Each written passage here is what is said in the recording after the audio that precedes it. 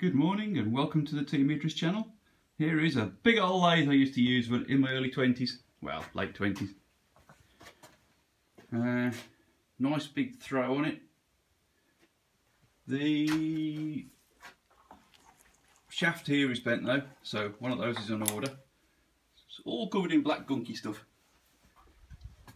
Got lots of uh, controls all over it to do various things to TOS from Czechoslovakia. Yep. Here's all the original control gear. And that's what we're replacing it with. One sort of 21st century electronic magic box which will control the speed.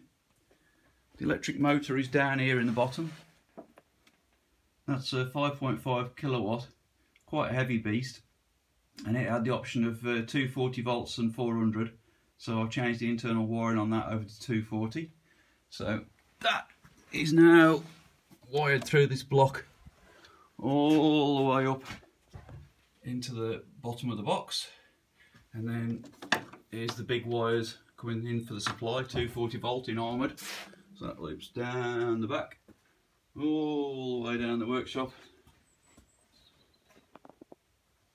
And I need to put it into that new board.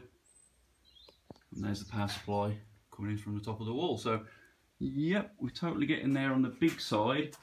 And then on the small side, you can drive it with these buttons to do various speed changes. But there's also options to have a pendant. So that'll be the speed, forward and reverse, off, and that'll be the main kill switch. So put it into whatever direction you want, and then turn up the speed.